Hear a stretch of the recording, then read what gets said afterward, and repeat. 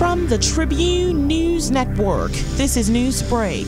I'm Krishna Russell. The Deputy Prime Minister yesterday voiced optimism that water and sewage customers are prepared for price increases as he hinted they will no longer receive their first 3,000 gallons for free. Desmond Bannister, who as Minister of Works also has responsibility for the corporation, said the government has little choice but to drag the water utility into the 21st century following the economic blowout inflicted by COVID 19 and Hurricane Dorian. With no tariff increase for 22 years, he suggested it simply cannot continue to sell water at a price below the cost incurred in purchasing it from Consolidated Water, the BISX listed reverse osmosis plant operator, and then rely on annual $20 million plus taxpayer subsidies to cover the difference. Besides ending the free provision of 3,000 gallons per customer every month, Mr. Bannister said a price increase will also encourage water conservation and better use of a scarce essential resource.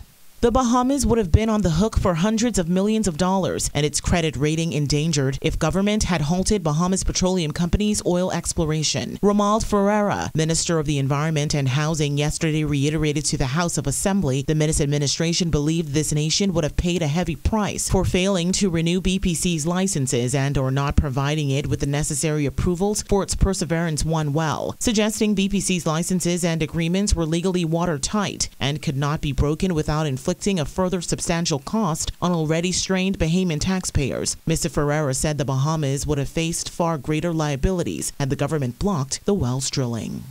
Public Disclosure Commission Chairman Myles Laroda has been chosen by the PLP's Candidates Committee to fight as their election candidate for the Pinewood constituency, the Tribune has confirmed. Mr. Laroda was confirmed on Tuesday night alongside other prospective candidates, including businesswoman and former Miss Bahamas Pia Glover Rolle for the Marathon constituency. PLP insiders said Mr. Laroda's resignation from the PDC will be forthcoming once he is officially ratified by the PLP's National General Council. However, the news has enraged some Free National Movement supporters who told the Tribune yesterday that Mr. Laroda's position as chairman of the PDC has placed him in a position that gives the upper hand over Pinewood incumbent Reuben Rahming. This comes as both parties, the PLP and the Free National Movement, move to ratify a full slate of candidates ahead of election season.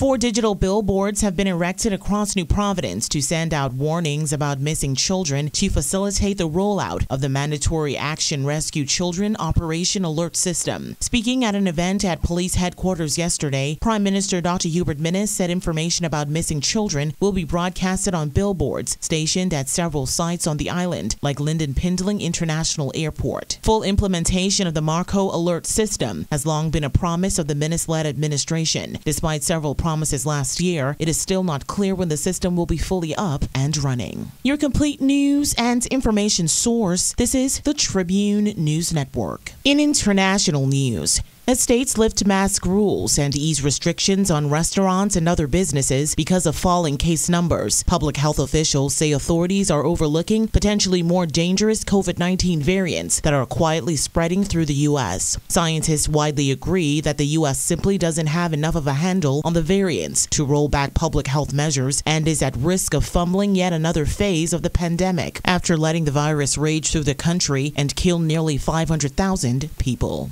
In the first Mexican shelter reached by migrants after trekking through the Guatemalan jungle, some 150 migrants are sleeping in its dormitories, and another 150 lie on thin mattresses spread across the floor of its chapel. Only six weeks into the new year, the shelter known as the 72 has hosted nearly 1,500 migrants, compared to the 3,000 all of last year. It has halved its dormitory space due to the pandemic. That wasn't a problem last year because few migrants arrived, but this year it's been overwhelmed overwhelmed. The Tribune's AccuWeather update a service of Bahamas Power and Light Company. High pressure ridging continues to promote pleasant and breezy to windy conditions over the Bahamas. Beachgoers should exercise caution along eastern and southern shorelines due to the risk of rip currents and rough surf. For all areas, it'll be partly to mostly sunny, warm, and breezy to windy, with few spotty showers today. Mostly fair and warm with a stray shower or two tonight. Small craft caution remains in effect in the northwest Bahamas. Small craft advisory remains in effect in the central and southeast Bahamas. Winds southeast to south at 15 to 20 knots in the northwest Bahamas, east to southeast at 15 to 25 knots in the central and southeast Bahamas. Seas 4 to 6 feet over the ocean in the northwest Bahamas and 5 to 8 feet but higher in gusts in the central and southeast Bahamas. We'll have a daytime high temperature of 85 degrees and an overnight low temperature of 75. The sun will set this afternoon at 6:08 and will rise tomorrow morning at 6:42.